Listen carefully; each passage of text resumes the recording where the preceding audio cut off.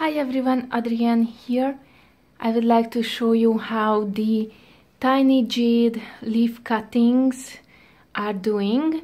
I have been keeping them under this container. Sometimes every second or third day I sprinkle some water on them. At the moment there are no movements, no changes here.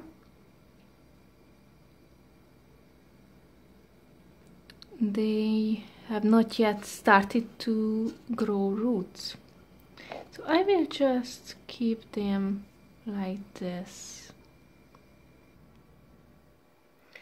And here are the two other cuttings that I made.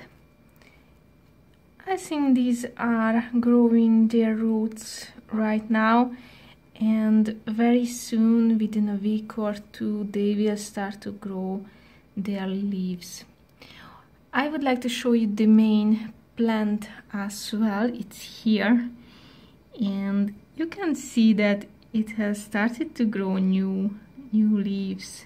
So there is some change here already.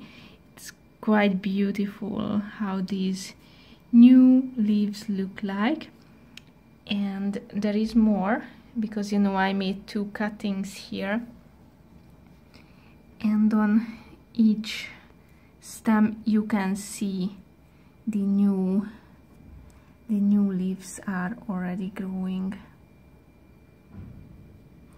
And this looks really nice. This has actually branched. As you can see that's that's two two branches that will be two branches at least. And for this one it's it's one at the moment.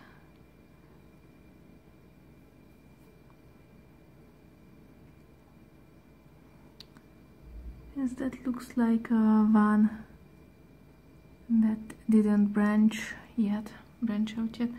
Okay so this is an update on the tiny jade plants and I will let you know once uh, the cuttings, these cuttings and uh, the leaf cuttings um, changes or they start to grow or anything like that. Thank you so much for watching this video and see you in the next one. Have a nice day. Bye bye.